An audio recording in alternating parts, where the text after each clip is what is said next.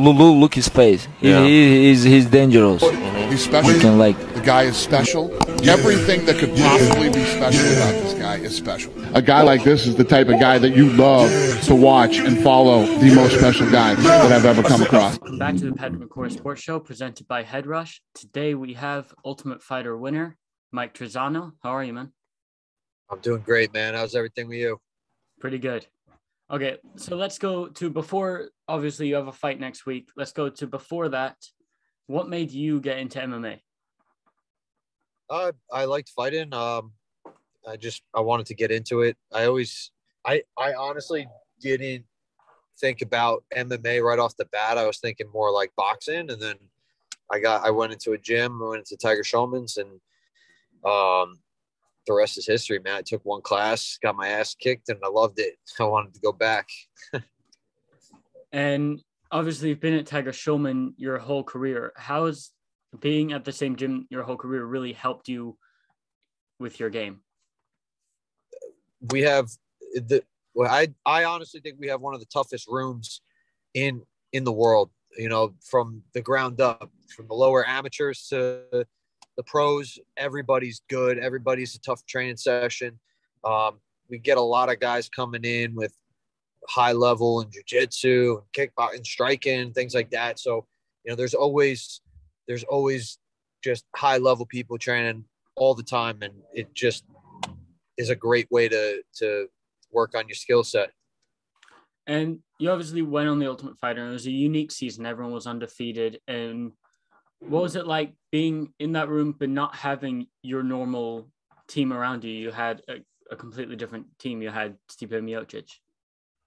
Yeah, it it was weird, but you know, I I went in there just to try and learn as much as possible from uh, all the other people and get different outlooks on the fight game. And um, it was definitely uh, it took a little bit getting used to, but you know, it was it was a good opportunity and experience for me to kind of just ignore everything else in life and just focus only on fight for the six weeks I was on the show. It was actually I I enjoyed it a lot. It was tough.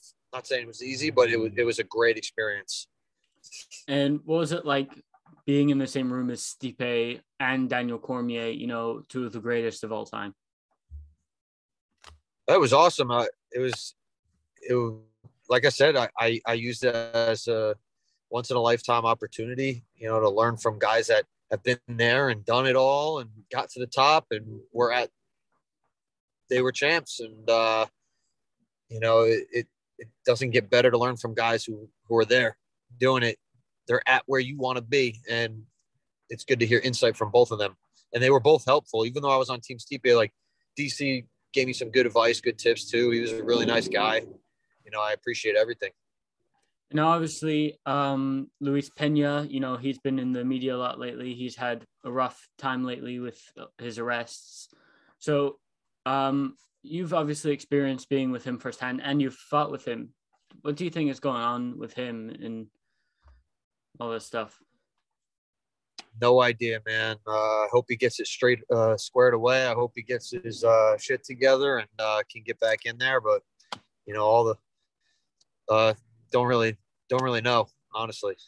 You never really you never really know what's going on. You know you, you see all the stuff in the media and stuff but you don't really see what's behind closed doors. So you know i don't really comment on on things like that. You know they just he's just got to figure out his his way and that's it.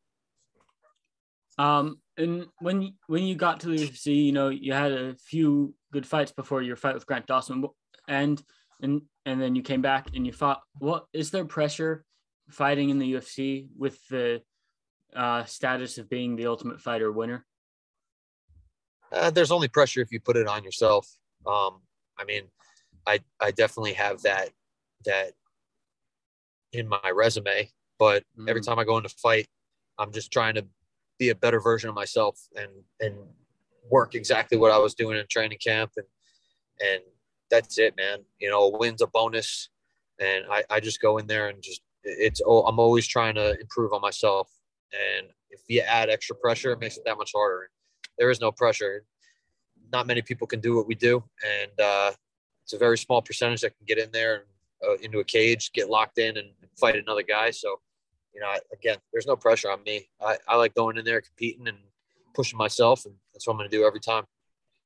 Now let's transition to your fight that's coming up. You're fighting a very tough opponent, Hakeem Dawodu. What are your thoughts on him as an as an opponent?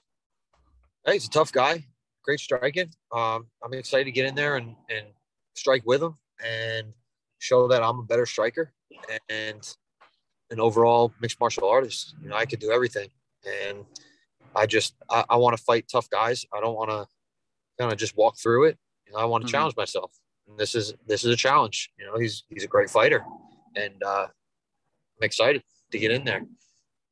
And how has your camp gone so far? And how is your weight looking right now? Everything is perfect. Left no stone unturned, man. I'm ready to go. Uh, and how much more do you have to cut for fight week now? Eh, maybe like another ten pounds. Ten pounds. I'm right. I'm right there, man. Yeah.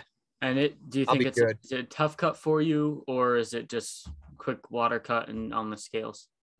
Yeah, no, I mean there every weight cut sucks, but it's not tough. You know, if you do it right and you, you do everything you're supposed to do, you'll be good. You know, so I, I don't cheat when I. That's I'm a professional, and our job is to make weight. You gotta make weight. That's it. And where do you see you have the advantages in this fight, and how do you think it will turn out for you? I mean, I think it's going to be a great matchup. Um, I think I have the advantage standing. I think I definitely have the advantage on the ground. You know, I plan on mixing it up and uh, keeping them guessing, and hopefully, you know, all goes according to plan. You never know what's going to happen until you get in there, but uh, yeah, that's my game plan. Pressure them, put it on them and get in and out quick. so you're aiming for a finish then? Always. We don't get paid by the minute. now, um, I want to get your. So I do this thing on my show for the more casual viewer, a quick fire, like to help get to know you as a person and not just as a fighter. So I'm gonna list off a few little things, and I want to get your answer on them. Sounds good, man. Fire away. So, what is your favorite movie? Gladiator. Gladiator. And what is your favorite TV show if you have one? That's tough, but I'd probably have to say Game of Thrones. Game of Thrones. Uh, what is your favorite meal to have while you're in training camp? Obviously, you know, with diet restrictions and all that. Favorite meal. Uh, I don't know, honestly. They're all so like plain and but probably honestly I enjoy eating like nice piece of grilled chicken, rice, veg and vegetables, you know. I you put a little bit of hot sauce on there, makes everything taste good. and when when you're not in camp and you know you can just eat whatever you want, is that the same? Do you like that no. the same way or no? What what what's your uh, ideal meal? Nice big big a bowl of pasta, some sauce, meatballs, the works, man. I need my Sunday dinner. Do you have a ritual for post fight? You know, some fighters will have a drink of something or have some sort of celebration. Do you have a ritual like like you do after you win? I don't really have a ritual, but I, will definitely crack open a cold one with my coaches for sure. Um, have you ever had a funny interaction with a fan? you know, like a funny run in with a fan?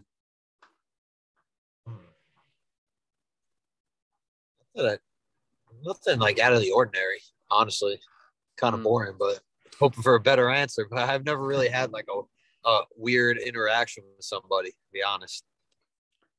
And um, obviously, you meet a lot of people backstage in the UFC. You know the media team and all that. Do you have a favorite media member that you like to have question you or um, no, um, for the most part, everybody's always treated me well, and we're very nice and professional. So I don't have any preference. Do you have? I don't know if you like ice cream, but do you have a favorite ice cream flavor? Yeah, I'd have to say Cookie Monster. Cookie Monster. Oh yeah. I don't think you got that out here in Europe, so. It's, so it, just... it's almost like chocolate chip cookie dough. Mm-hmm. Yeah. But the ice cream's blue and then they usually put like some Oreos in there too, and it's kind of like a a mixture. It's like Oreos, chocolate chip cookies, and it's blue, like the Cookie Monster from Yeah. uh yeah. So Hmm, Maybe when I go out to the states in July, I'll I'll grab myself some. you have to. And um, now let's go back to the fight. If you win this fight, is there an opponent in mind? Maybe get into the rankings, or maybe there is a specific name maybe outside the rankings you would like to face off with. Uh, I don't got anybody specific, but I definitely after I win on next Saturday, I want to fight somebody in the top 15 for sure. So get me a ranked opponent. It doesn't matter. I. I don't really have anybody in mind as of Okay. now. And do you have uh, do, how many times do you want to fight this year? You know, activity is really important in the UFC. Do you want to fight multiple times this year because it's early in the year? Yeah, this fight is.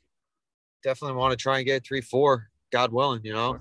Yeah, obviously, it's been t- a tough road. You know, I was supposed to fight in October, that got scratched, and now I got this fight. But uh, you know, I, I'm always trying to aim for three, four. We'll see what happens. So, what's your goal by the end of the year? Be in the top ten, top fifteen. What's your what's your goal? I'm saying top 15. That's my goal. And roughly, so if you win this fight, obviously Hakeem Dawodu, he's a big name. He's a very talk, highly talked about prospect. Do you think that will help bolster you into a fight for, in the rankings? Absolutely, absolutely. Especially, I'm gonna make a statement next Saturday. That's for sure. All right, man. That's all I have uh, prepared.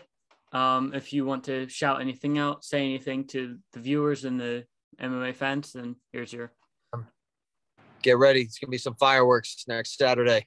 Don't miss it.